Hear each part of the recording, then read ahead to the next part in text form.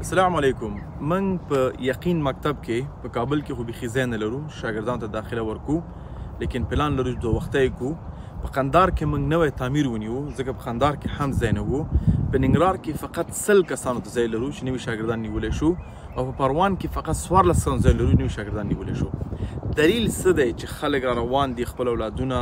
راوړي او په یقین کې اچوي ځکه یقین ستاسو اولادونه داسې تربیه کړئ چې څنګه فکر وکړي، څنګه خپل پیغام خلکو ته ورسوي،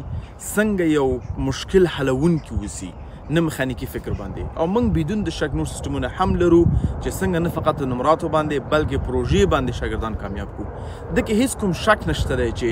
همدومره زه خبرې کوم همدومره خبرو ته نور ځای دی چې زه پکې اصلاحات راولم، سیستم تقویه کړم،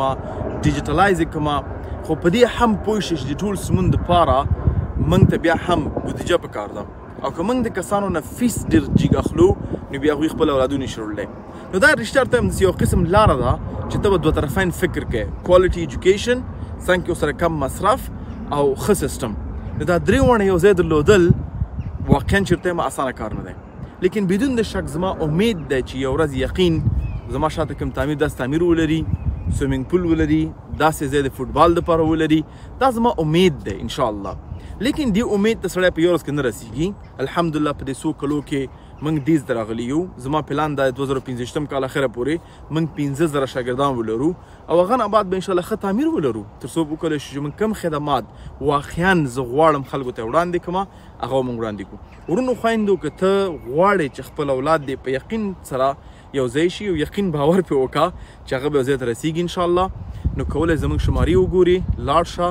زمونږ مدیران صاحبان سره کینه خپل اولاد هلته ویسه او بدون د شک دا نه چې مونږ به ستا اولاد رسو بلکې یو ځای به سره کار کوو زه ته زما ټیم په یقین کې سره کار به کوي چې څنګه ستا اولاد هغه مقام ته ورسو چې کوم ځای کې هغه خپل ژوند نه راضي دی الله ترنه راضي دی او یو خدمتګار دی نه فقط مسلمان امت ته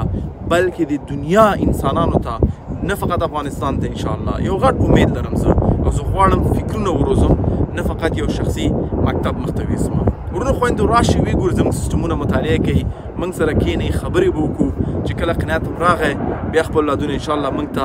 امانت راکړئ څو پر بیرته ورودو تاسو ته وسپارو ان شاء الله جزاک الله خیره دا ویډیو شریک کړه څو پورې چې خلک راشي او یقین سیستم ځینې مطالعه کړي او ان شاء الله خپل اولادونه پکې شامل کړي